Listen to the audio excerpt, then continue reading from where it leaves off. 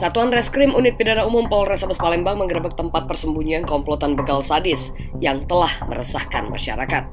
Dua dari lima orang pelaku ditembak karena mencoba melawan ketika akan ditangkap. Dari tangan para pelaku, petugas menyita barang bukti senjata tajam.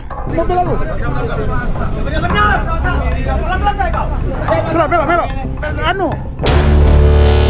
Diduga akibat menolak membuka info seorang fasik. Tak terima telah difitnah sebagai pelapor dan dipermalukan. Empat tersangka dari 20 orang pelaku komplotan. Pertamina pastikan stok BBM dan LPG Palembang Baru TV. Kami Lukas.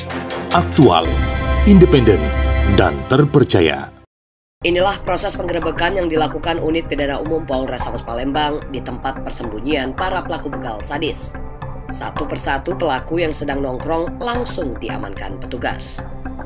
Dua dari lima orang pelaku terpaksa dilumpuhkan petugas dengan tembakan di kakinya.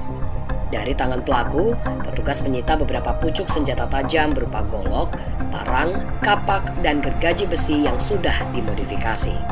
Kelima pelaku yakni Rizky Maulana 21 tahun, Erwin 20 tahun, Takwin 20 tahun, Aji Mario 21 tahun, dan Rizky 29 tahun. Kelimanya ditangkap berdasarkan laporan polisi atas korban Suki, warga Fakih Usman Kelurahan 340 Palembang yang telah melapor telah menjadi korban keganasan para pelaku. Setelah dibacok, motor korban langsung dibawa kabur pelaku. khususnya unit Opsal Pidum kemarin eh, kita berhasil mengamankan ada lima orang Eh, dia ini kelompokan yang kelompokan yang memang sering melakukan eh, setiap malam minggu.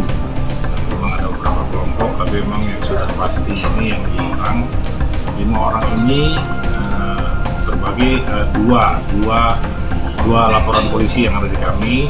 Eh, semuanya di Bidung sudah kita tindak barang bukti juga ada sepeda motor yang digunakan dan ada parang yang dia gunakan untuk melukai korban.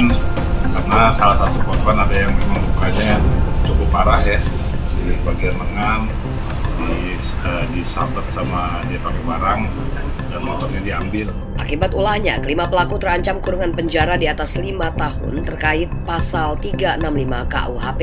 Dari Palembang, Sumatera Selatan, reporter Jane, kameramen Febriansyah, PBTV mengabarkan.